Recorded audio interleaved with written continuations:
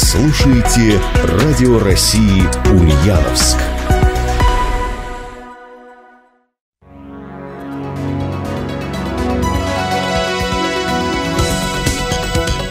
Государственная телерадиокомпания «Волга» представляет Программа «Будни». Факты, события, комментарии.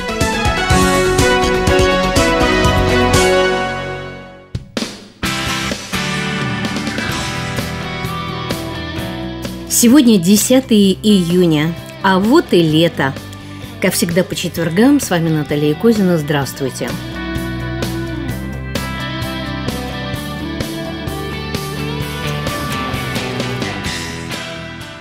Лету рады все, и взрослые, и дети. Дети, безусловно, в особенности. Хотя во время летних школьных каникул и у родителей появляется хорошая возможность немного отдышаться от детских забот. Детский оздоровительный лагерь – вот долгожданное решение для этого. Тем более, что стоимость путевки в детский загородный лагерь теперь солидно компенсируется. И в регионе уже давно действует такая программа, а теперь вот и на федеральном уровне появилось такое понятие «кэшбэк за детскую путевку». По аналогии с кэшбэком, то есть возвратом, за туристические путевки внутри страны. Все подробности возврата средств мы выяснили у Ирины Илюновой, начальника отдела организации оздоровительного отдыха для детей работников бюджетной сферы. Нюансов много. Например, возврат средств за детскую путевку по федеральной программе может быть осуществлен только на пластиковую карту национальной платежной системы «МИР», или такое правило, как строгий режим в загородных оздоровительных детских лагерях, когда в целях профилактики заболевания ковидом в лагеря, как говорится, не велено никого посторонних впускать и никого не выпускать. Программа уникальную и, наверное, впервые в нашей стране реализуется программа по возврату средств за приобретенные путевки в организацию отдыха детей эта программа на российском уровне, а ведь на региональном уровне мы этим уже давно занимаемся. Да, поэтому это, конечно, еще большой плюс нашим родителям, потому что наши родители оплачивают разницу между фактической стоимостью и суммой возмещения. И вот на эту оплачиваемую сумму еще будет 50% возврата средств. То есть, если стоит путевка 30 тысяч в детский оздоровительный лагерь, мы из областного бюджета проплачиваем 15 тысяч, родитель оплачивает, э, я буду говорить и о том, э, что только картой МИР, и на карту МИР возвращается 50% от 15 тысяч оставшихся, то есть 7,5 тысяч еще родитель получит обратно, и стоимость путевки... И еще раз подчеркнем, это федеральная компенсация. Да, до 7500 рублей. То есть вот для наших родителей, мне кажется, особая это радость. А какие-то документы нужно оформлять?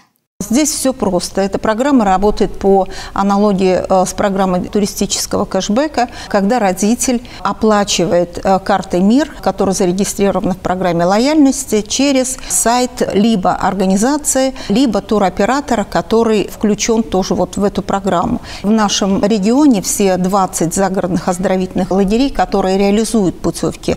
То есть те, кто участвует в этой программе, участвуют в этой программе. Вот э, мы были на большом совещании. Они во всех регионах включились в эту систему. Поэтому в нашем регионе очень э, такая хорошая пока картина, что родители могут э, получить возврат за приобретенные в любые детские лагеря, расположенные на территории нашей области. Вот это вот первое важно. Второе важно для родителей иметь или приобрести эту карту МИР для того, чтобы получить все-таки а, возврат средств за путевку. Программа эта уже началась, она уже работает, родители уже оплачивают, и мы в течение пяти дней ожидаем возврата вот этих средств.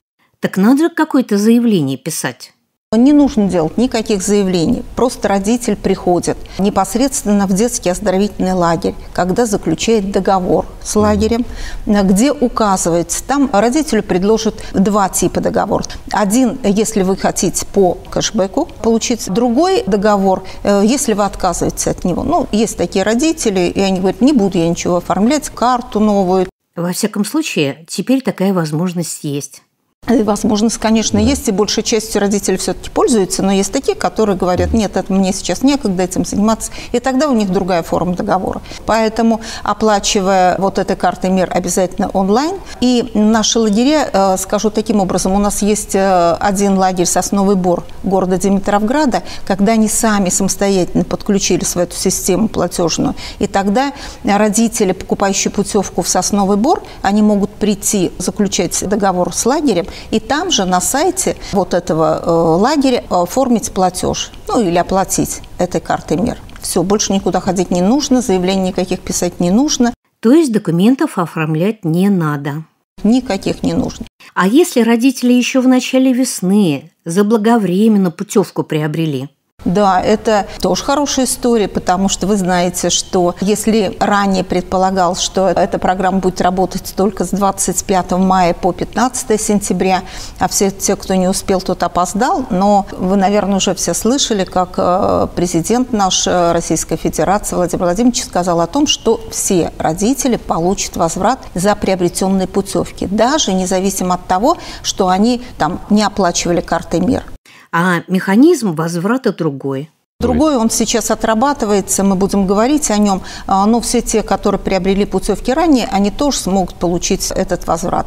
Но все равно оформить карту МИР а, заранее, потому что возврат, он все равно должен прийти на эту карту. Поэтому мы надеемся, что наши родители так же активно, как и наши лагеря, включатся в эту программу, смогут получить из федерального бюджета еще 50% оплаченной ими суммы. А как дети теперь будут отдыхать? Организация ведь будет строгая, никому посторонним нельзя заходить на территорию. Детям не будет скучно. К нам на территорию лагеря мы не сможем допустить вот людей, специалистов профильных, как обычно мы тематических партнеров их называем, на свою территорию для того, чтобы они смогли а, в рамках а, вот этих реализуемых программ а, провести какие-то свои интересные мероприятия. Здесь два выхода. Вот эти тематические партнеры, опять же наши, они перешли немножечко в другую плоскость, то есть в лагеря в школьные перешли, и мобильные кванториумы, и IT-куб, вот современные учреждения учреждений дополнительного образования, которые будут работать непосредственно в школьных лагерях. И я даже хочу сказать, что в этом году будет реализован проект «Умные каникулы», который направлен на развитие сетевого взаимодействия между организациями дополнительного образования, между организациями отдыха детей их оздоровления и школьных и загородных лагерей. То есть те педагоги, которые работают сегодня по современным дополнительным образовательным программам, они непосредственно выйдут в лагеря, и даже в загородные лагеря. 10 загородных лагерей участвуют участвуют в этом проекте, а большинство педагогов будут работать в школьных лагерях с дневным пребыванием. Хочу сказать, что это направлено на то, чтобы ребенок вот э, в рамках летних каникул, в рамках одной смены смог попробовать себя в каком-то деле, в каком-то направлении, для того, чтобы ему 1 сентября, когда ему нужно будет выбрать направление в дополнительном образовании, а он уже э, сделал несколько летних таких вот проб, потому что программа будет краткосрочная. И сделал выбор выбор сделал, да, что он произошел в течение смены несколько вот таких программ и для себя определился. Потому что, когда начинается 1 сентября, мы знаем, начинаются сложности. И хочется и поиграть, и потанцевать, и спортом заняться. А тут вот он уже сможет себя попробовать. То есть вот это вот основная цель нашего проекта. Ну, а с другой стороны, я думаю, что это сделает э, нашу жизнь в лагере ярче, интереснее, ну и полезнее, эффективнее, наверное. Это вот одна сторона. А вторая сторона у нас профильная смена смены все-таки будут. Есть специалисты, которые выезжают на всю смену и работают с детьми. Это уже традиционно у нас есть такая Ульяновская, мы ее называем летняя математическая школа Леонида Михайловича Самойлова. И они выезжают с ребятами и работают э, в течение всей смены. Хочу сказать, вот есть частная школа «Код успеха», которая уже тоже традиционно не первый год проводит такие летние смены. В этом году они будут проводить профильную смену для айтишников, ребят, которые занимаются информационными технологиями, программе в детском оздоровительном лагере «Хоббит», который достаточно далеко от города, в Новом Балаклинском районе расположен. Но вот впервые они хотят попробовать там. Возможно, там тоже будет открыта некая такая вот школа для ребят. Хоть и строгий режим, но детям все-таки будет интересно и не скучно. Ну, мы надеемся, безусловно, потому что и все делается для того, чтобы дети не просто отдохнули, не просто оздоровились, а все-таки получили новые компетенции, новые знания, чему-то научились. Это очень важно, потому что ведь период летних школьных каникул, три месяца, у нас в России все-таки довольно-таки длительный период, когда ребенок, он не останавливается да, в своем развитии. Если он не получит что-то новое, интересное, тогда он займет себя чем-то другим. И мы всегда и говорим и родителям, вот на областном родительском собрании, что лучшая защита от э, всего негативного – это организованный отдых ребенка. Ну и, по-моему, детский оздоровительный лагерь – это еще и плюс личностное развитие ребенка. Поэтому это одна из главнейших задач. Ирина Илюнова, начальник отдела по организации оздоровительного отдыха для детей и работников бюджетной сферы, подробно объяснила, как будет происходить возврат средств за детскую путевку по федеральной программе и о том, не будет ли детям скучно на отдыхе, если даже родительский день теперь запрещен. Программа государственной телерадиокомпании «Волга» «Будни». Факты, события, комментарии.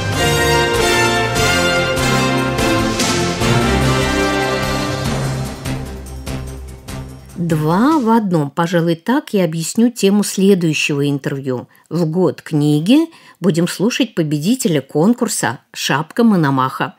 Напомню, этот конкурс объявлен литературно-краеведческим журналом «Мономах», и проходит он в конце года. Сегодня мы беседуем с Владимиром Кочетковым, победителем одной из номинаций этого конкурса по итогам 2020 года – да-да, тем самым легендарным Кочетковым из районного центра Сурская, организатором велопоходов с подростками, которые исколесили полмира. Владимир действительно хороший педагог. Во время велопоходов он учит школьников любить природу, историю, краеведение. Я прошу уточнить его, а какую литературную работу он публиковал в журнале «Мономах» в прошлом году? Регулярно выходят мои какие-то краеведческие списки. Несколько лет назад была издана книга «Дом Никольской горы». Вот такая краеведческая книга, которую я писал, собирал материал для нее не один год. Ну и время от времени печатал в журнале «Мономах» разной периодичностью о наших местах, о некоторых местах Ульяновской области, в большей степени Сурского района. Последняя моя работа называлась «Без страха и упрека». Это такой материал был комплексный. Там центральное место занимало, может быть, мое отношение к жизни вообще, к тем местам, где вот э, довелось большую часть жизни прожить. Я там говорил и о маме своей, потому что во многом она и бабушка, они, в общем-то, сыграли какую-то роль, которая в какой-то степени помогла мне обрести себя. До этого там выходили из краеведческих, это как раз вот о нашем поселке, о Промзино, вот о каких-то исторических моментах, связанных с э, поселком. Потом там были также мои размышления, которые время от времени печатал. Ну, потому что материал здесь достаточно, поселок существует достаточно долго. И есть у нас и старинные здания, есть и какие-то места, которые известны, наверное, всем в области. Скажем, даже Никольская гора, этаж Сурат, те же места, где работали археологи, потому что здесь были какие-то поселения до того, как возник поселок. Вот я писал об этом. То есть в основном это такие краеведческого направления были работы какие-то. Теперь я хочу вернуться к вашему школьному географическому обществу. Все-таки мы вас очень хорошо знаем как руководители велопоходов со школьниками. Вы объездили чуть ли не полмира на велосипедах. Вы продолжаете вести эту велосипедную группу какую-то? Что касается велосипеда, в основном в последнее время мы ходим пешком. То есть по району, по каким-то местам, которые могут представлять какой-то интерес краеведческий. На велосипедах последний раз с учениками мы выходили два года назад, потому что тут была и пандемия, и другие какие-то сложности были. А вот с учениками мы в последнее время вот ходим пешком, потому что, ну вот мне хочется ходить ногами. И далеко ли ходили? Ну, нет, это, это Сурский район, это вот наши э, заповедные места. Это вот и заказник Сурский, это различные тут э, памятники природы, которые связаны как раз с нашим районом. Последняя наша вот поездка, она была по заповедным как раз местам э, юга Чувашии и вот Сурского района. Это и тайга, которая к нам приходит в Ульяновскую область из Чуваши. У нас тут и болотные какие-то памятники природы есть, и заказник федерального значения, который также какой-то интерес представляет. Потом мы искали озеро, есть упоминание об этом озере, где можно встретить водяной орех Челим. Это вот в Ульяновской области только у нас, в Сушском районе. Вот мы искали вот это озеро и пытались там найти это. Что же интересно, можно было бы написать какую-то работу, проект какой-то сделать очень интересный по этой теме. Ну, вот. то есть пандемия ага. здорово подрезала ваши планы, да? Да, конечно, потому что было некоторое время, когда вообще не двигались. Это всегда отрицательно сказывается, конечно. Но мы здесь чем компенсировали? Ну, вот, скажем, с женой мы катались на велосипедах вокруг Ладожского озера. То есть была давняя моя такая мечта, мне хотелось там со школьниками пройти. Ну, вот не получилось пока. А до Ладожского озера вы на велосипеде ехали? Нет, до Ладожского озера нет. От Соснового Бора, то есть вокруг Ладоги, там получилось тысяча километров почти. Вот мы катались на велосипедах. А туда доехали транспортом. А какие планы на этот год строите?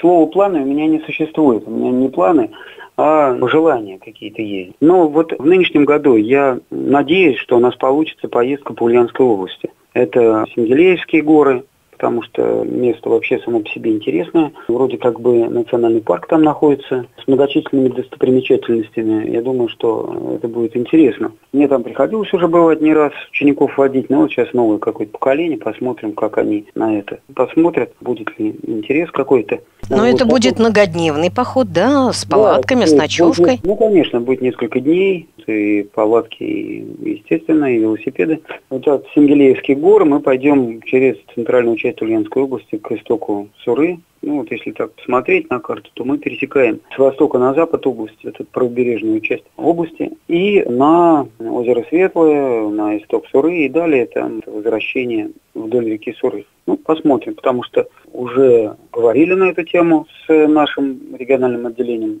Русского географического общества. В команде у меня есть и мальчики, и девочки. А сколько ребят у вас? Ребят достаточно много, тех желающих. Посмотрим, как это вот тренировки покажут, занятия покажут, выходы вот эти на природу покажут, сколько останется, как там сформируется дальше. Потому что все-таки путь, он требует и физической подготовки, и большего желания, чем просто хочу. А так народ достаточно много. Порядка 20 плюс человек, которые готовы в любое время выйти в поход. Ну, группа, конечно, будет намного меньше, потому что если идти на велосипедах, то группа должна быть мобильной, небольшой. Я сейчас сторонник таких небольших групп, максимум 8 человек. Тогда можно будет действительно пройти многодневный маршрут. А вы как-то следите за судьбой своих воспитанников, с которыми вы ездили далеко-далеко и в Америку, и там на другие континенты. Что получилось в итоге из этих ребят? Вы гордитесь ими? Я всегда ими горжусь. Я любым учеником горжусь. Потому что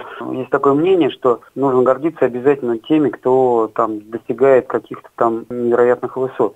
Но есть тут ребята из тех, кто ходили со мной, работающие в очень солидных фирмах, работают где-то в Москве, там, скажем, очень высоко. Есть просто ребята, которые герои среди нас, так сказать. Вот. Их можно встретить на улице в городе, их можно встретить там где угодно. Честно сказать, раньше я как-то пытался проследить за своими там бывшими путешественниками. Сейчас я считаю, что вот мое дело, мы сейчас занимаемся с ними, вот идем, поход, у них подготовка есть какая-то, вот интересная жизнь, кусок интересной жизни. Вот дальше они уже жизнь строят сами. Причем в последнее время я пытаюсь, ну, как-то помочь им увидеть жизнь такой, какая есть. Там, скажем, если раньше я от чего-то их оберегал, сейчас я пытаюсь не оберегать. Пусть они видят жизнь такой, какая есть. Вот идешь в поход. Если хочешь, ты должен сам обеспечить себе максимально комфортное и интересное времяпровождение. Вот, то есть ты должен участвовать в этом процессе. Не я тебе это делаю, даю. Я тебе предлагаю. Вот ты должен целиком полностью в это включаться и также обеспечивать вот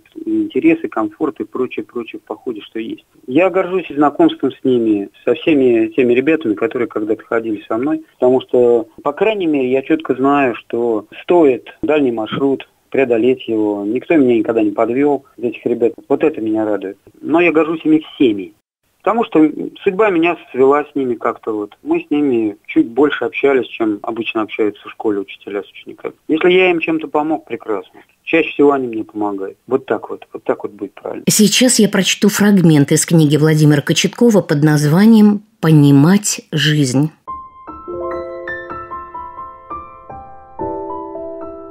Темным зимним январским утром я вез младшего сына в садик. Старший приболел тогда и отлеживался у бабушки, а жена, чем свет, уехала по работе в город. Так вот, Вез я младшего в садик. Вез на санках. Зима в тот год была ранее, снегу навалило много. Тропинку, по которой мы обычно ходили, то и дело переметало. И то и дело приходилось тащить санки через сугробы. В тот день я опаздывал. Затянул со сборами на работу. Я злился. Мне казалось, что сын долго возится и никак не соберется. Он старался, хотел сам и застегнуться, и обуться. Едва мы вышли за ворота, как он вспомнил о своей забытой в попыхах коробочке, в которой у него хранились самые заветные его сокровища. Он с ней не расставался, ночью клал с собой в кровать и обязательно брал в садик. Мне пришлось вернуться за этой коробочкой. Получилось у меня и вернуться домой, и сунуть ему в руку эту коробочку с раздражением – в том, что мы опаздывали, виноват был только я, но я никак не мог справиться с этим раздражением. Сын же прижал свою коробочку к груди, и я повез его так и не сумев успокоить, усмирить свое недовольство.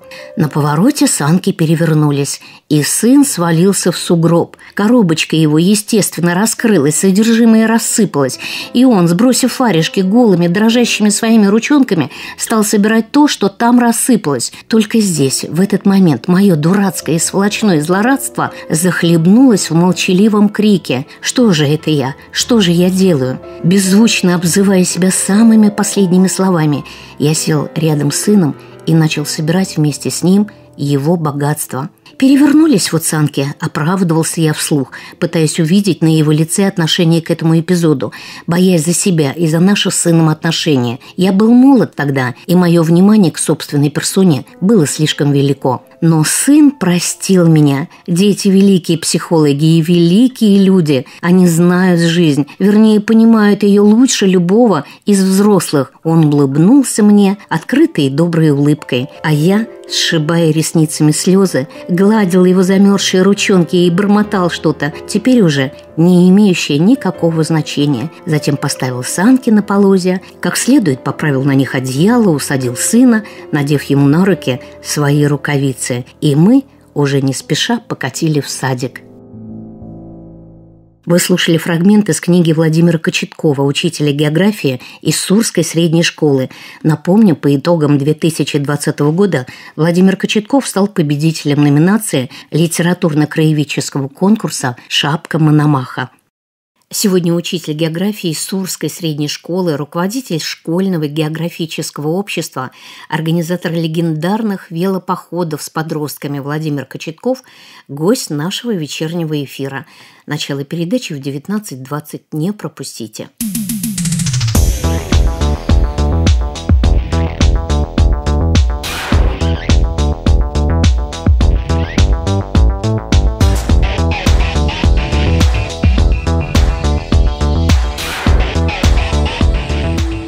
Передачу продолжает рубрика «Вкусно и полезно». Это совместный проект с Центром медицинской профилактики. Слушайте главного диетолога Ульяновской области Надежду Глущенко о консервированных овощах, фруктах и ягодах. Вкусно и полезно. Ну вот зачем же консервируют овощи? Вот изначально консервирование было способом сохранения овощей на длительное время для потребления в такой период в наших условиях, когда лето очень короткое, а холода очень длинные. И он, к сожалению, у нас вызревает только один урожай, поэтому мы все-таки привыкли запасать овощи и мариновать их. Бывают такие экзотические продукты, которые мы можем попробовать именно в виде консервов. Они долго транспортируются к нам, а там так иногда хочется какого-нибудь нетрадиционного лакомства. Польза консервов. Есть ли там витамины, спрашивают меня мои пациенты. Наиболее в нашем регионе популярны такие консервированные продукты, как консервирование помидор и огурцов у нас бывает большой урожай, и чтобы как-то их сохранить, мы делаем закрутки. И бывает, что делаем овощные салаты с перцем, с баклажанами, луком, морковью, кабачками, патиссоны. Реже консервируем другие овощи. Так вот в каких а, продуктах наиболее сохраняются витамины и как же их сохранить? Вот витамины очень-очень ограниченно сохраняются в консервированных продуктах и уменьшаются порядка в два, а то и в четыре раза. Вот аскорбиновая кислота вообще уменьшается ее количество более чем на 70%. И практически полностью теряются витамины В1 и В6, которые крайне необходимы организму. Разрушение витаминных компонентов происходит по причине тепловой обработки и воздействия света – вот консервы в стеклянных банках для того, чтобы как можно уменьшить количество потери этих важных витаминов, все-таки хранить в темном и прохладном месте, погребе или в какой-то нише. Также часть витаминов разрушается под действием маринадов. Вот уксусный, лимонный, кто-то даже маринует с помощью салициловой кислоты, то есть с помощью аспирина. Ну, у каждого свой рецепт.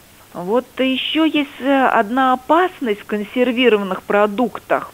Такая жизненно опасная инфекция – это ботулизм. Ботулотоксин – это опаснейший яд. Он производится особыми бактериями, кластридиями, которые вот как раз и размножаются в закрытой банке. И срок хранения продуктов, даже вот говорят, ну оно совсем э, мало хранится. Вот, к сожалению, достаточно совсем небольшого количества времени, чтобы вот этот вот ботулотоксин, если он попал вместе плохо промытыми овощами или мясными продуктами, чаще всего рыбными продуктами, вот он быстро размножается. Поэтому все-таки такие мясные, рыбные продукты я бы не рекомендовала делать в домашних условиях из-за такого яда. Или соблюдать технологию очень-очень скрупулезно. Пациенты иногда жалуются, приходят на прием с высоким давлением, с отеками. И когда начинаешь спрашивать, что же они принимают, что они кушали, оказывается, что большие любители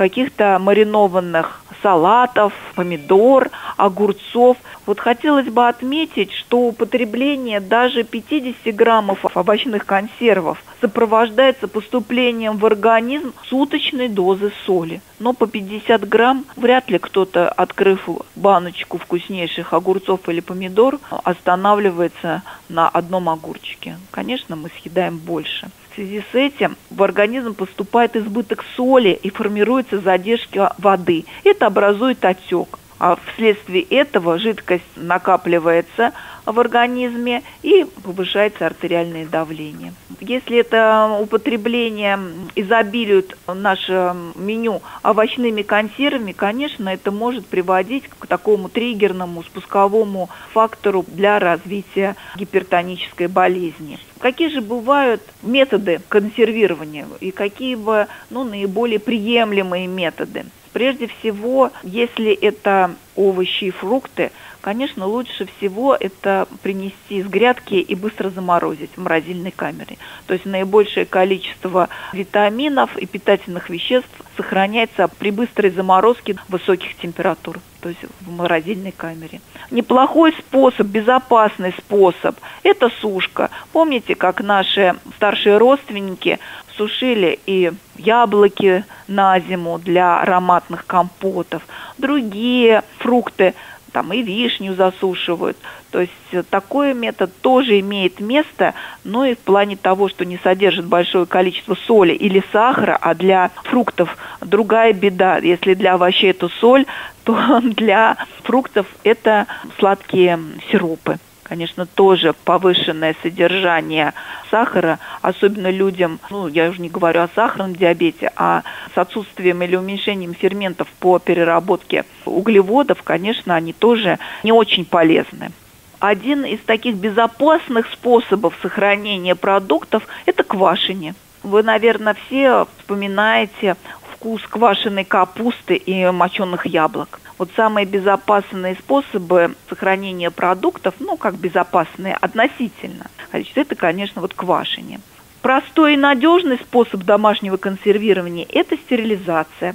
Вот стерилизуют обычно овощи, фрукты, ягоды, Ну, не рекомендуют консервировать, я еще раз вам подчеркну, мясо, рыбу, грибы бы не рекомендовала консервировать. Во-первых, осталось, наверное, не так много специалистов, которые знают грибы Потом наша экология, наверное, грибы накапливают соли тяжелых металлов, поэтому каком-то дальнем-дальнем лесу, где нету близко дорог и каких-то химических дождей и выбросов, конечно, грибы могут использоваться в пищу, но тоже не детям и не людям уже пожилого возраста. При консервировании овощей с низкой кислотностью, огурцы, баклажаны, необходимо добавлять все-таки лимонную кислоту, уксусную кислоту в 0,5-0,6 6% и строго соблюдать рецептуру не использовать для консервирования лежалые или продукты, которые уже подвержены порче. Необходимо очень тщательно промывать овощи, плоды под проточной водой, используя все-таки мягкую щетку, чтобы содержание земли, пыли там вообще не было соблюдать правила обработки банок, крышек, режим теплой обработки продуктов. И ни в коем случае, если банка по каким-то причинам помутнела в ней рассол или, не дай бог, вскрылась, подвергать второй раз термической обработке и закрывать повторно. Это недопустимо скоропортящиеся и негерметично упакованные консервированные продукты под такой крышкой не металлической, а более дышащей – хранить при температуре не выше 6 градусов Цельсия с обязательной отбраковкой и уничтожением бомбажных э, банок. То есть бомбаж – это когда крышка неплотно прилегает металлическая и имеются признаки вздутия. Часто на поверхности заготовок из фруктов и ягод в банках с вареньем или соком образуется плесень. Обычно это небольшой островок плесени, он не увеличивается – потому что плесень со временем прекращает рост из-за недостатка воздуха. Ну, я бы такие продукты тоже не рекомендовала к употреблению. Вот иногда из открытой домашней заготовки доходит неприятный гнилостный запах. Такие заготовки обязательно нужно выбросить. Поэтому вот даже если продукты ну, сохраняют такой свой презентабельный вид, неприятный запах, это причина развития гнилостных процессов, обязательно эти продукты подлежат уничтожению. Пожалуйста, не экономьтесь на себе. Тем более в наших условиях сейчас на рынках, в магазинах почти круглый год есть овощи и фрукты, которые привезены из тех стран, где они являются сезонными. Поэтому всегда выбор за каждым из вас.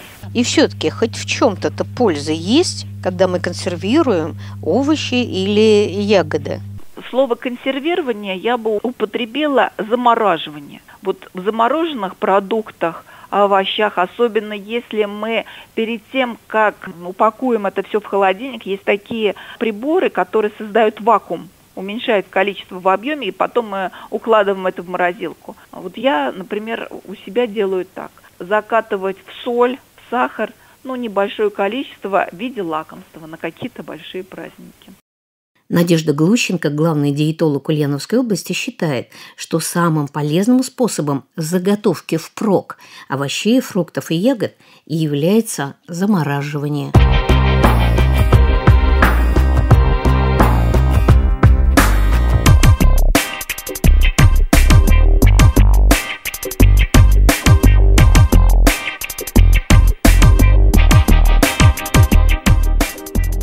И завершает нашу передачу песня «Как нельзя кстати». Вот оно какое наше лето. Лето яркой зеленью одето. Лето жарким солнышком согрето. Дышит лето ветерком. Мы начали передачу с детской темы о загородных детских лагерях и закончим ее с таким же настроением, ведь все-таки лето, наступили длинные школьные каникулы. Эта песня прозвучала в любимом советском мультфильме – «Дед Мороз и лето».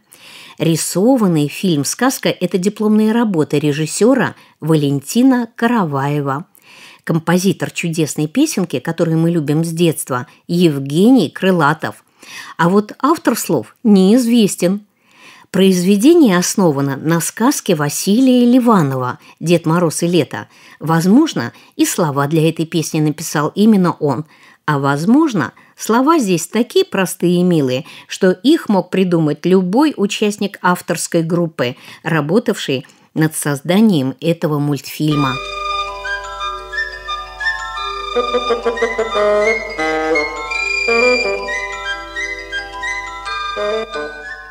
Вот и все. Я так хочу, чтобы лето не кончалось, чтобы оно за мной умчалось. С вами была Наталья Козина. Спасибо, что были с нами. Будьте здоровы. До свидания.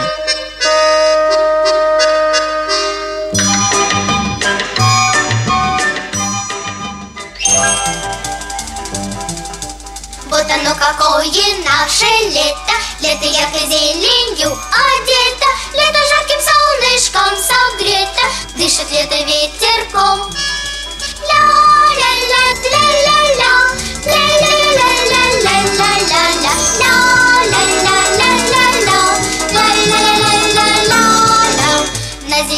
солнечной опушке Прыгают зеленые лягушки. И танцуют бабочки, подружки Расцветает все кругом. Мы в дороге с песенкой о лете Самой лучшей песенкой на свете. Мы в лесу ежа, быть может, встретим. Хорошо, что дождь прошел